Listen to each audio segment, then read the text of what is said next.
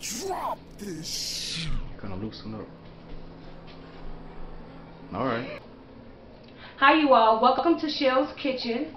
Um, this is my first video ever. Um, I just started to start this YouTube channel, uh, just basic recipes um, for, you know, the single dads, the teenagers, uh, just the people that just really don't know. Um, these are not fancy recipes, these are just basic, quick, easy recipes for you to feed you and your family and get full, basically. Um, so yeah, we're gonna get started. My first, our first dish today is gonna be my chicken pot pie. It's very simple. It's about five ingredients, quick, easy. The kids will love it. You will. Okay, so as you all can see, I have two chicken breasts here. These are just regular chicken breasts that I got from the store. I've already rinsed them off and I put them inside of a shallow uh, skillet, as you can see. Um, what I'm going to do now is just lightly season it. Normally I use seasoning salt, garlic powder, onion powder, and pepper. But when I went to the grocery store, my cookies, I forgot to get the seasoning salt and pepper. So we're just going to wing it with what we have.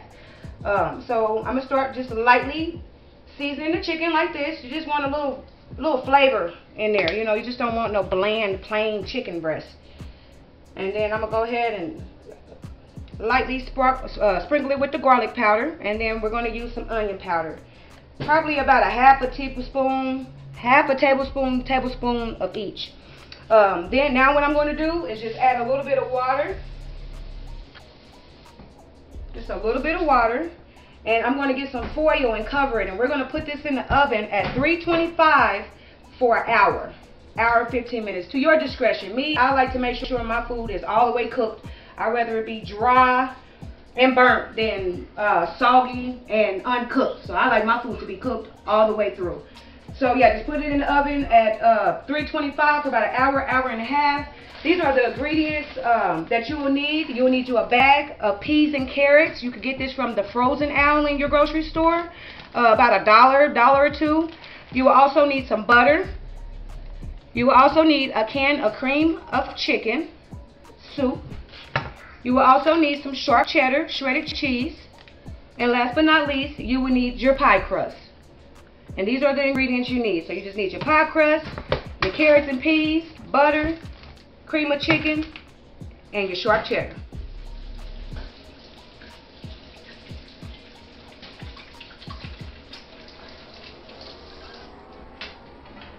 So this is what the chicken looks like once it comes out the oven, uh, lightly seasoned.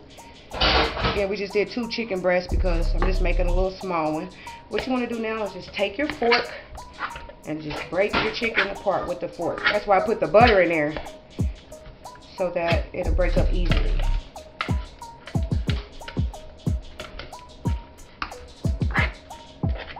Break it up with your fork real good. Get your hands in there a little bit. Make sure your hands are clean. Always wash your hands. Keep your hands and kitchen clean while you're cooking. Alright, so once you get your chicken all broke up, like so, we're going to add in all the ingredients. So we're going to take our cream of chicken soup. Excuse my nail, y'all. I just went and got my nails done today, and they're already chipping. So I'll be back tomorrow. Alright, then what you want to do is get your shredded cheese. And you want to do about two handfuls of the shredded cheese. Just want two handfuls of your sharp cheddar. I already got one in there. Do another. Alright, and then now you want to add the peas and carrots. Just look at my bowl. You see I got my chicken, I got my soup, and I got the cheese so far. These are three ingredients. Now we're going to add the peas and carrots. The, the, peas and carrots can be frozen or they can be unthawed. It's completely up to you. If they're unthawed, of course, it'll cut down on your cooking time. And what you want to do is just mix it all together. Mix it all in real good. Peas and carrots all through there. You got your soup. Cheese melted all through there. Y'all remember them banquet pot pies back in the day our mamas and daddies used to give us? And grandmas? This is just like that, but way better. It's way better than that. But I know everybody remember those. We all used to eat those as kids. Damn braids all in the way, y'all. Excuse me. All right, so I have it mixed up real good.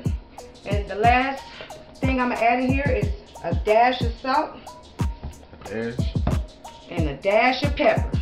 Yes, that was a dash. About a half a half a half a teaspoon, y'all. Dash and a dash. Yep, dash and okay. a dash.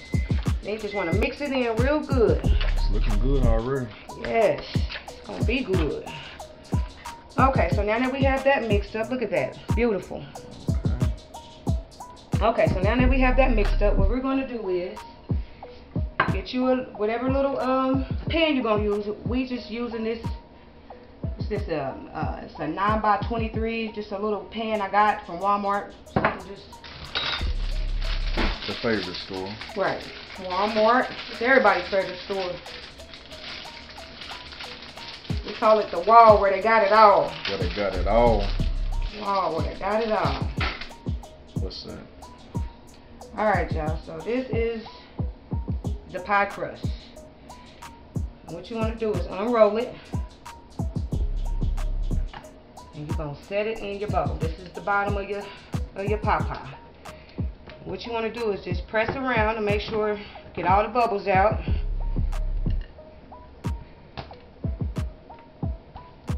Is the bottom of your pie pie. You can trim off the excess excess dough.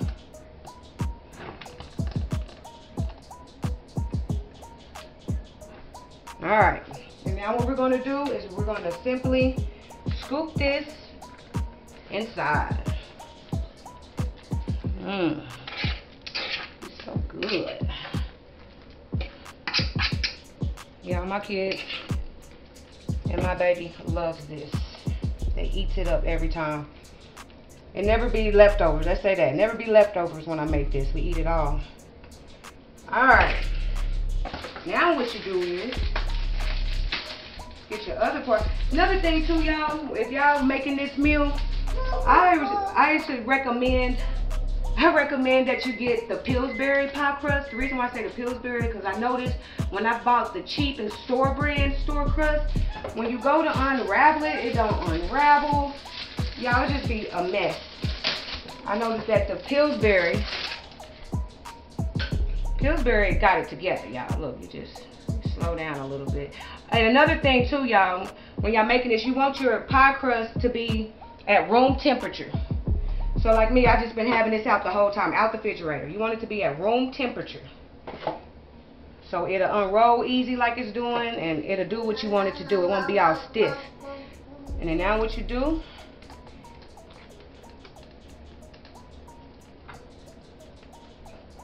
then you can take off the excess.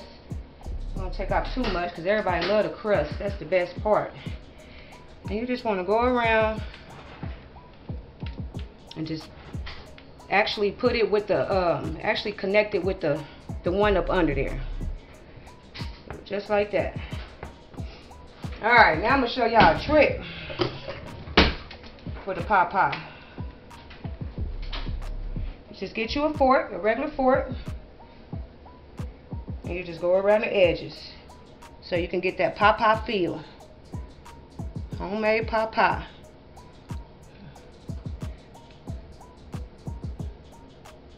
Just gonna go all the way around with it, y'all. That is that pie feel. Yes. Ain't no pie without these lines, y'all. You ain't got these lines, I don't know what the hell that is you done made. You done made a pie not a pie. And that's it. That's all you want to do. And then we got one more thing to do, y'all. Then we're going to put it in the oven and let it cook another 20, 30 minutes. Okay, so one more thing.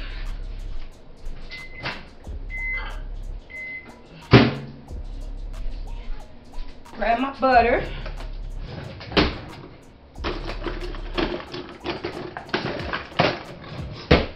So remember earlier I had butter there. What you want to do is get like a tablespoon and a half, and you want to put it in the microwave because you want to you want to melt it.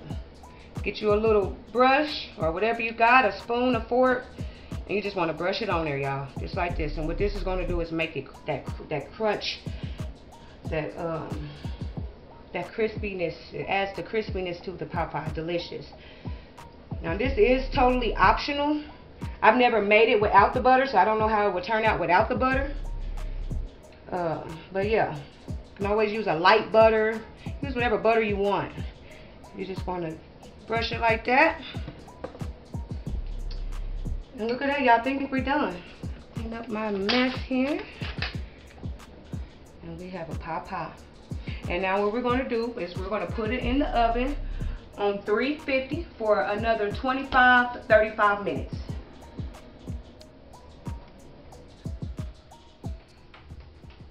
All right, you all, so this is the finished product, fresh out of the oven. Um, as you can see, it's not quite perfect. I've made better pie pies, uh, but the taste is consistent. I'm sure it's going to be delicious.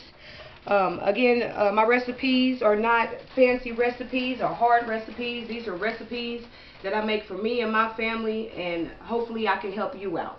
Pretty much is what I'm doing with this. Um, so yeah, that's that's it. We made the chicken pot pie. I want to thank you so much for watching. Don't forget to like and subscribe. And I'll see you on the next video. Thank you so much for watching.